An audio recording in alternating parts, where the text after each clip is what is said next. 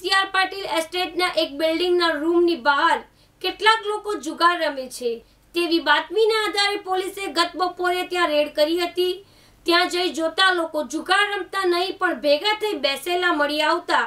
પોલીસે તેમના વિરુદ્ધ જાહેરનામાના ભંગ અને એપિડેમિક એક્ટની કલમ મુજબ ગુનો નોંધી ધરપકડ કરી આગળની કાર્યવાહી હાથ ધરી છે.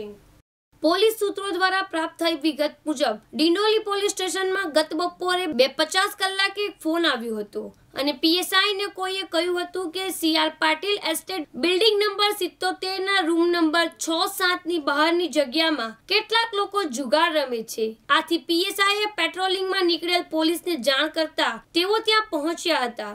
જોકે પોલીસને ત્યાં સાત વ્યક્તિ મળી આવ્યા હતા, પરંતુ કોઈ જુગાર રમતું હોય તેવી કોઈ પ્રવૃત્તિ મળી આવી ન હતી. લોકડાઉન હોય તેમજ ચારથી વધુ વ્યક્તિ એકત્ર થવા ઉપર પ્રતિબંધ હોય પોલીસે સંજય વિનાયક, મિસ્ત્રી શ્યામ આત્મારામ રામસુરે, રાહુલ કાશીનાથ પાટીલ, ઉમેશ પોપટ મોરે, ગાયત્રીલાલ વસંતરામ કેવટ, વિરેન્દ્રસિંહ પ્રદીપસિંહ પરમાર અને નરેશ સંતોષ કેવટ વિરુદ્ધ જાહેરનામાના ભંગ અને એપીડી એક્ટની કલમ મુજબ ગુનો નોંધી ધરપકડ કરી આગળની કાર્યવાહી હાથ ધરી હતી.